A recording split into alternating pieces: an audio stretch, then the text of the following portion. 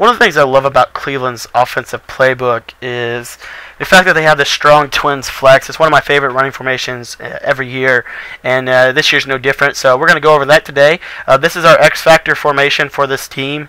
Uh, I think it does a really good job of moving the ball down the field. Really, just very simple, simple plays.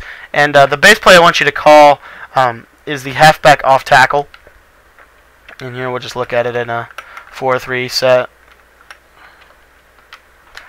And um, the base run here is this halfback off tackle. You see, you get those double teams on the edges, and with a back like Jamaal Charles, it's very hard to stop the run this year. It's just gonna, it's just gonna good, uh, vote good for you, in my opinion. This uh, playbook, and especially this formation, is just very effective uh, for running the football. The next play I want to go over is the halfback dive. Uh, halfback dive. If you need two yards, call the halfback dive. It's literally a, almost a guaranteed two yards. Uh, here I'm going to show you if they run commit what happens um, just to run commit straight down, I'm still going to get two yards. It's like it's almost like a quarterback sneak type of run play. Uh, with the way the blocking sets up, you're going to go positive if you just trust your blocking. And then if you maybe break it out, one with Jamaal Charles. So just a really good offense right there. Uh, the next play I want to look at is the PA fullback flat. And basically we're just going to basically run like um, a, a hitch corner concept from last year. Uh, we're going to put Dwayne Bowe on a smart routed out route. And our first read on this play is going to be our flat to the right. Here you see it's covered because of cover 3 coverage. And that's going to allow us to then progress to our next read. A lot of times you'll see you people user uh, user control the tight ends route. So I make that my last read. Um, my first read on this play is uh, actually going to be the, the drag route to McCluster. And against zone coverage, it does a really good job. Remember, if they don't follow the drags, you can hit them very easily against zone coverage. Just make sure to know when to throw it, and if they're if they have quarterback spies or anything on the field, wait for him to pass them. If they do follow the follow the uh, McCluster route, however, that's going to mean they're in a two-man under coverage, which means that Dwayne Bowe's route is going to be money uh, against two-man under. Another situation that may come uh, is a cover zero blitz, really trying to sell out to stop this running play. And if that occurs, what I want you to do is, is uh, pass lead or just lob past that corner route. For some reason, they won't be. It, it's very difficult to intercept that, even if you're user controlling against it. So that's the PA fullback flat. Uh, the next play is the curl flat, and you see we have that really nice angle route on the right side that I love. Uh, so what I like to do is I like to drag my tight end. I like to take Dwayne Bowe, and I'll put him on a streak. And then I'll take Jamaal Charles, I'll put him on a block and release pattern. Actually, no, I'll take Jamaal Charles and I'll wheel him uh, to the right. If I can't wheel him to the right, then I'll swing past him to the right. And the first read on this play is if I can maybe hit the, the to Jamaal Charles in a flat. A situation where you would want to do this uh, is a situation where they may be blitzing uh, their linebackers or uh, trying to bring pressure off of the off of the right edge uh, to stop that run. And you see, it's just really a, a two-man read between the flat and the angle route, almost working like a levels idea.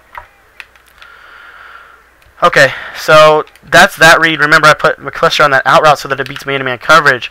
Um, my second read on this play is going to be Fasano. If they're in zone coverage, it's a really quick read, and it's very simple to beat. And then the last read, uh, remember, uh, the streak read is just kind of to clear space. I don't really throw it to him unless they just blow a coverage.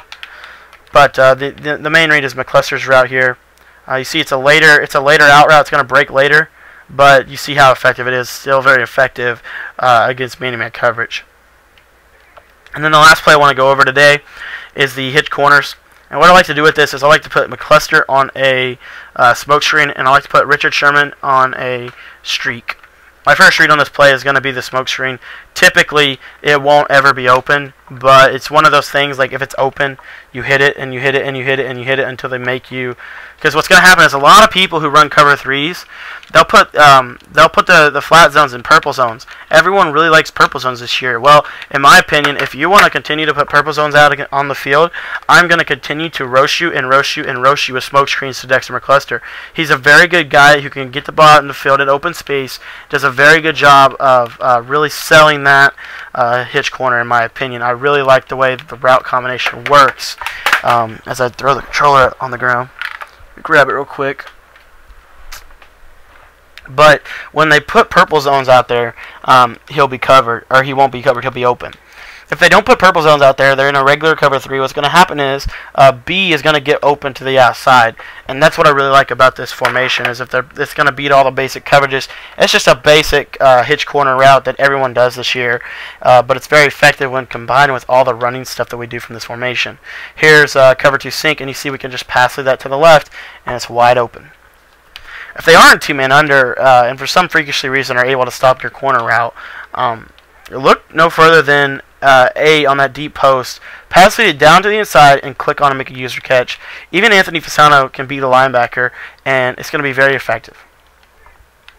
In our last read, just if something, everything goes wrong, we can easily just check down to that little uh, underneath hitch uh, option route to the running back. Real quickly, if they are uh, cover zero blitzing you, uh, you can actually hit this uh, route to Charles right out of the backfield, and it just crushes uh, any cover zero blitzes. So just add that to your arsenal, guys. This is a really good play.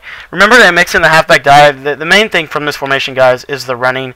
It's obviously a running formation. You can typically sometimes from time to time come out in the counter weak. You can actually playmaker that halfback off tackle run to the left, and then you can. It's basically just like a stretch at that point. Um, so just be sure to mix in all the different types of runs. Uh, be sure to sometimes motion McCluster to the right side of the screen. Uh, you see it's going to create a little tight set over there on the right.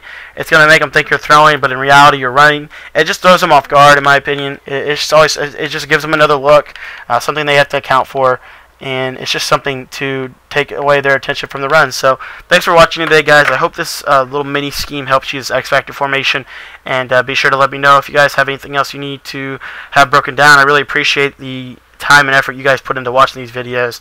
Uh, makes me want to just continue to make them. So thanks for watching. Be sure to subscribe if you like my tips, and if you need help with any specific thing, let me know in the comments below. I'll get back to you as soon as possible. Have a great day, guys. I hope you're enjoying this offense.